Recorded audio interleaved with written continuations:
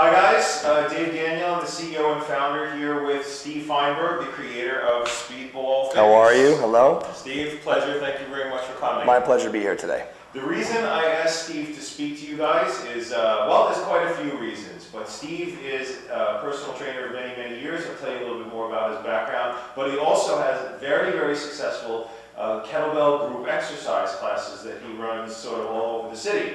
And uh, we got to talking, and we were doing some really, you, you brought up some great points that I thought would be very valuable for group exercise directors to hear, personal fitness directors, trainers, uh, group X people. It's just a really, you, you brought up some great points. But why don't you start out first by telling people about who you are, you, you know, your training background, your group X background, the whole thing. Sure.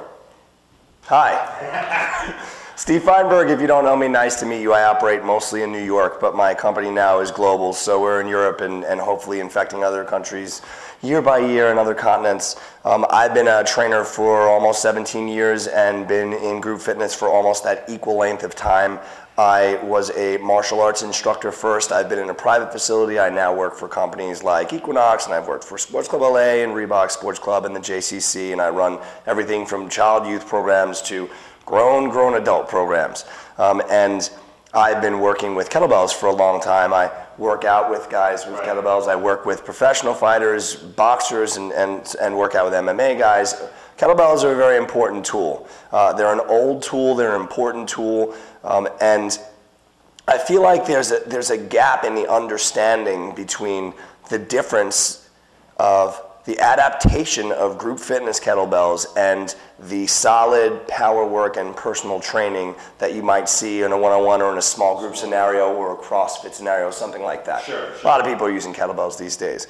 Um, and they're really apples and oranges. They're different animals, and that's what I think is missing in the understanding. Okay, and so maybe you can go a little bit further. Yeah, yeah. absolutely. So my supposition is I've been teaching kettlebells through, uh, through kettlebell concepts for a while, a couple of years now since I did my workshop at Equinox. Um, and what I've found is that my kettlebell classes stay full and stay on the schedule where many others have not. And I believe the reasoning is because A, I keep it very kettlebell. It's not a cardio sculpt toy. It's not a dumbbell with a handle. Right. I don't turn it into something else. I keep it the way it is. Right, right. So I limit the amount of movements I use. I keep them pretty pure. Uh-huh. Also recognizing that it's a smaller version of the tool, obviously. Um, and to manage a, a larger room, I think simplicity, I think less is more in some cases rather than complex choreography. Right. Um, and I've made uh, relationships with the personal trainers in the building because, as I said, I'm a personal trainer 1st uh-huh. and secondarily also a group exercise instructor. So I maintain my own clients in various personal training gyms and in people's homes. And kettlebells is a staple for me uh-huh. with almost all of my apparently healthy clients. Um, and the reasoning that, uh, behind that is the trainers uh, get to know me and they have a, they understand that if they send their clients to my classes, their clients won't get hurt. Right. Especially if they train kettlebells with them because they're using much heavier load, respectable levels of load, uh, well above 10% of your own personal body weight, which right. is where you make that transition to actual strength work, mm-hmm. as opposed to the smaller versions that are available in the group fitness rooms today. Right. Still, it should still be hip driven, inertia driven motion the, the technique doesn't change. Right. And uh, so we teach that, we teach it and we preach it, each and every class. But by, by people who would have not touched a kettlebell first, but do take group exercise classes and fear the funny little thing with the handle, uh coming into a room and doing it together and getting that same feeling, that group spirit, eventually, a handful at least, always say, so, you know, how do I do this better? Or what happens if I get one that's heavier? Or what happens if I want to do this on my own, what do I do? Well, don't do it by yourself. It's always my explanation, unless you're doing the things that I've shown you and the things that I've shown you only, and only increase your load X amount. Instead, talk to a personal trainer. Here, talk to my buddy. Talk to my buddy John, uh, or talk to your group fitness manager. They'll they'll put you into the personal training department. They'll direct you. Um, and if there was better communication, which I have. Yeah. Um, rare, but yes. Rare, yeah. but there are there are other people like me who are trainers and group fitness instructors who bond with trainers very easily, even though we're, we're location jumping shapeshifters sure. where it's not our home. If the personal trainers realized that kettlebells in a group is not the enemy and that we're not taking clients away. In fact, what we're doing is possibly, you know, milling the soil. We're, we're, we're farming the market, possibly. That was a good point you brought up, the We're- farm system. Absolutely. Yeah. It's like, you know, the minors versus the major leagues. And it's this simple. If I've never touched a kettlebell before, I am probably, there's probably a reason why. And I am not going to necessarily buy a session immediately with a personal trainer to touch something I didn't want to touch in the first place and spend a bunch of money on it. Right. However, if I'm a person who takes group exercise classes regularly, trusts an instructor or trusts a club, and decides to pick up one of the little ones that they see because it looks like fun Right. And you have an instructor who recites the ABCs of kettlebell training in the what you do beginning. beginning, Absolutely, in the right? beginning of every class, talking about the movements and doing the movements before the music goes on, and telling them that it's not choreography and it's not beat driven, Uh-huh. uh, because we're all different lengths and different sizes and Right. have different resistance levels, so you can't possibly be incurring rotational inertia all at the same time. It's a ridiculous thought. Right, right. Um, but then people take that, that, that a little foothold, they get their toe into the water, and then hopefully they take that next step and ask the question. Or you have an instructor like myself who says at the end of the class, remember, if you want to learn more about these things, there's a staff of people waiting for you who love these things, who want to talk to you about it. Right. You know, and I got some friends I can, I can hook you up. Likewise, if you want to keep your classes populated and you're a group fitness instructor, Talk about that a little bit. get friendly with the with your with the PT manager and with the trainers and say, look, I love this thing. I love it in a different way that you do. I use it in this setting in a slightly different way than you do. Right. The one thing you know is they're going to have fun and get a good sweat, and they're definitely not going to bang themselves up compared to what they've got on the floor. Sure. I can introduce them to the basic movements, or I can maintain them on the days that you're not in. It comes with their membership. Send them to me. If they don't like it, they don't like it. If Mm-hmm. You don't like it, you hear things you don't like, give me feedback. I'm not above feedback, but let's try it. Let's let's get a two-way street going. Right. And I've had great success with that. So from a, from a uh, marketing standpoint, this is something that we, that I brought up to you a while ago. The, I've been on the phone with, with certain clubs where the personal training director, the group exercise director are literally on the phone at the same time. And they're kind of like sniping at each other saying, Back and forth. Exactly, like, no, no, we want kettlebells because that goes to our revenue center and you're gonna cannibalize our registrants, and no, no, we want them in the group X for retention and so on and so forth. They were literally, and I had to sort of be a mediator to, to explain, to try and explain to them What I'm saying. what you're saying, you know, and it, it, it, got- it, they have to hear it from you, they really do. Well, what I think is, if you're looking at each other as two Granny Smiths, you're going to be you're going to be nervous about who takes a bite. But if one of you is a Red Delicious and the other one of you is a Granny Smith, there's a preference thing there. Number one, and number two, it's good to try new things. It's good for everyone in the gym to try new things, Right. as long as it's safe and it's presented properly. Right. So they shouldn't look at each other as competitive. They should see each other as cooperative. Hey, you'll bring us hopefully a new market.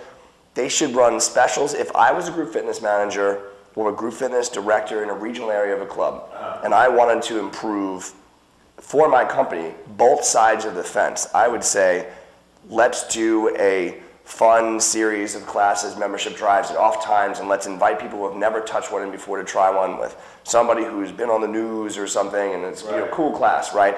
And then let's set up and establish a reduced rate, small package, small group or personal training add-on after that. If you took these classes, if you signed in for these classes, feel free to follow up at 30% discount with this trainer for a three block set on how to really use the kettlebell and get more of a benefit, more of a bang for your buck. Get a heavier bell, create more training effect, Right. blah blah blah. Uh-huh. And then you can you can go from point A to point B to point C pretty easily. Members who weren't going to touch it before in the room, file them for a discount, have them continue to buy, and you create a sustainable circle. But Right. everybody's got to be in on it together for that to work. It's- Right. Yeah, it could be symbiotic though. They're really not competitive. They're they're nearly apples and oranges. I mean, they're apples, but they're very different color. No, I, I agree completely. And what's the responses of people in your classes? You know, who do, who may do both, for example? Oh, You I, that's that's an interesting thing because it, it's fun to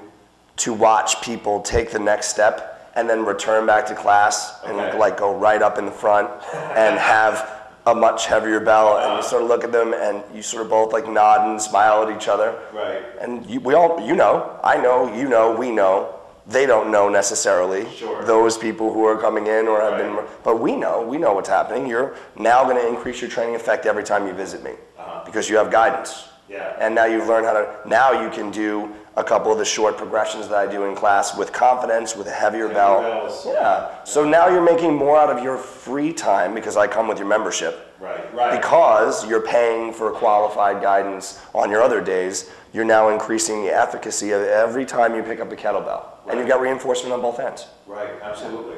Well, it's, uh, you heard it here first, folks. Actually, not really. We've been trying, we've been saying this. I'm for a I'm long sure this has been said before, yeah, but it's, I really think that there are, there's a, a, a misconception, there's a perception issue on how these two animals affect each other. And there are a lot of group fitness classes that use a kettlebell that aren't exclusively kettlebell classes. You know, they're in like a circuit training kind of class or something. There's a station with the kettlebell. And even that's enough if taught properly by an instructor to inspire someone to want to know more. And there should be some sort of door opening for those who are already members who have now gotten a taste for kettlebells where the PT manager says, you know what? If people come from a group fitness class and an instructor recommends them like a kettlebell ambassador, Right. that kind of thing, and says, you know, I or like Greg Cook is a kettlebell ambassador. So if you take Greg Cook's class and you want to learn more, you can apply for a small discount for some sort of, you know, home remedy discount Sure. with the PT department on a one, two, or three station package. Right. You know, something short term.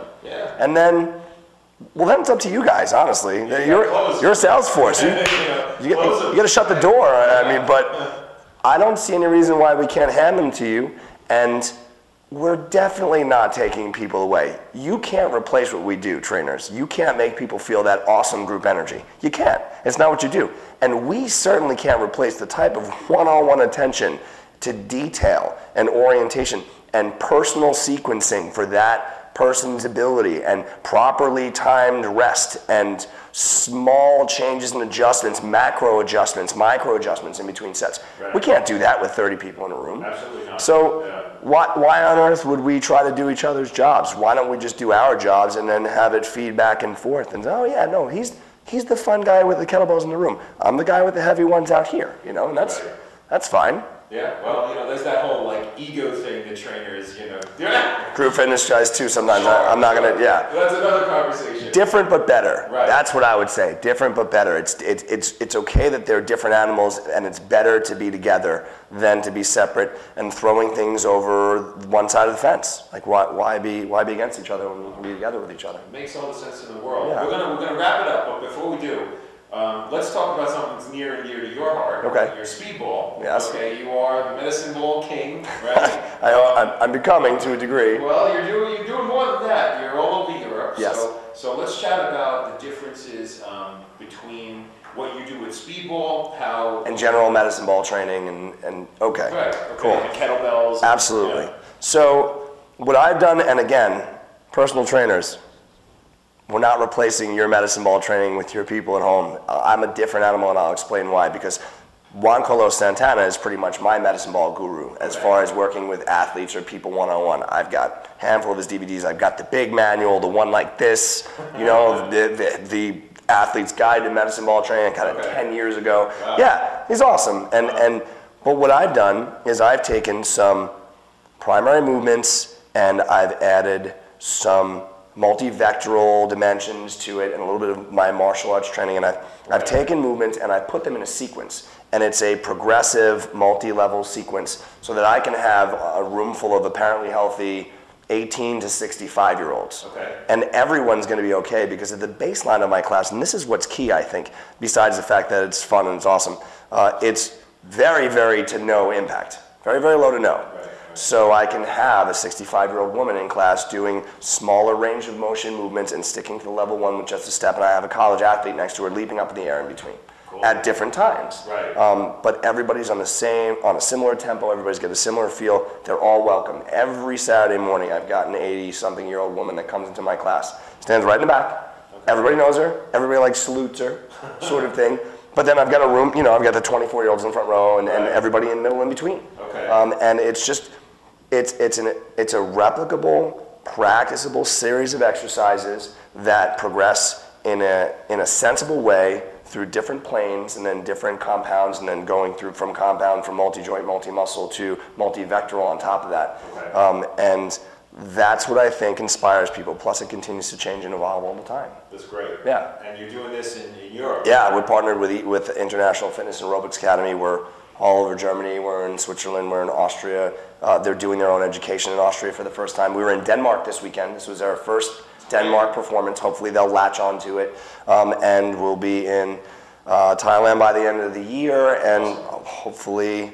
Looking for South America and to fill in some gaps, and then some more here in our beloved U.S. of A. But uh, it's it's marketable and uh, it's it's not that difficult to learn if you already have presence in cueing format and if you're Right. a trainer that's wanted to cross over into group exercise. I get a lot i get a lot of referrals from trainers to bring people into that class. They know i'm not going to break anybody and they always get a good sweat. We burn a high amount of calories and we focus on functional core stability in almost every and hip mobility in almost everything we do um, which again is, is some of the things that kettlebells focuses on thoracic mobility and pelvic stability at different times Right, right. you know and so we get that same feeling with a much lower load Mm-hmm.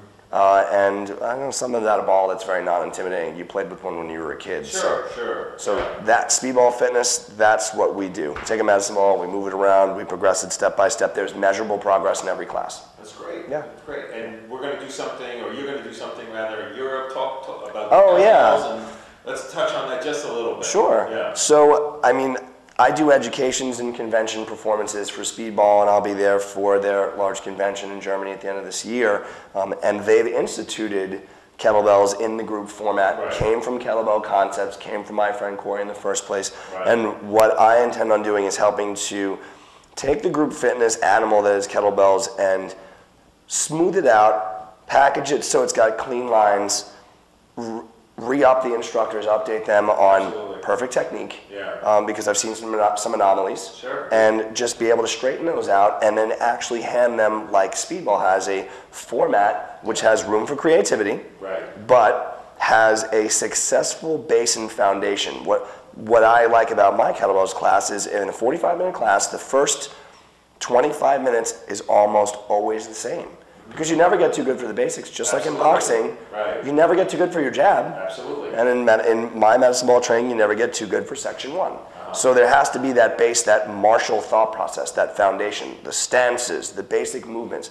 And then you can play later. You can have room to go virtuoso. You can be Oscar Peterson all you want, but at Right. some point in time, you have to start with the drum line. Right, right. You know, and that's that's what I want to do for KBC when I'm in when I'm in Europe with IFA. That's great. Yeah. It's, it's, I, we compare it to yoga and Pilates and martial arts all the time. Yeah. It's, it's, you have to have the basics and you have to be able to ideally perform the basics, you know, with, with a, with an appropriate weight. Eventually down the road, that's kind of where you want to get some of these folks to. Right. You know, you want them to, to realize that yes, a woman can swing a 10 or 15 pound kettlebell. Because let's face it, that's what their purse weighs anyway.